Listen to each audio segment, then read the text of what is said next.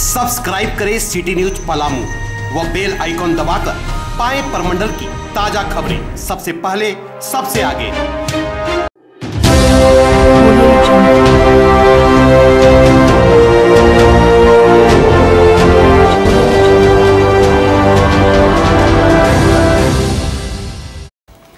दिन के करीब एक बजे के आसपास डाल्टनगंज मुख्य बाज़ार स्थित बसंत बहार के पास अपराधियों ने छोटू पासवान नामक युवक की गोली मार दी।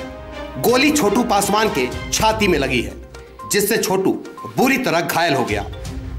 स्थानीय लोगों की मदद से छोटू पासवान को डाल्टनगंज सदर अस्पताल लाया गया, जहाँ चिकित्सकों ने प्राथमिक उपचार के बाद बेहतर इलाज के लिए रिम्स रेफर कर दिया।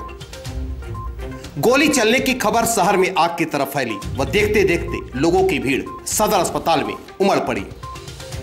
प्रत्यक्षदर्शी व प्रशासन की बात माने तो घटना को अंजाम दो अपराधियों ने दिया है।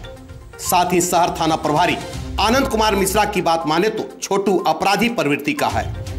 और इस पर पहले भी गोली चली थी, जिसमें वो बाल बाल बच गया था। साथ ही आगे कहा कि मामला ज़मीन विवाद से जुड़ा हुआ है।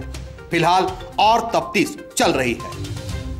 वही दिन दहाड़े भीड़ भाड़ वाले बाज़ार क्षेत्र में गोली चलने से आसपास के लोगों में दहशत का माहौल देखा जा रहा है। तो पासवान एक भट्टी मोहल्ला का और उसको पचमहान के पास गोली मार दिया जिसमें दो तीन लोग का नाम आ रहा है। क्या मामला क्या लगता है? क्या? मामले आपसी विवाद है पहले भी छोटे पासवान के ऊपर गोली चली।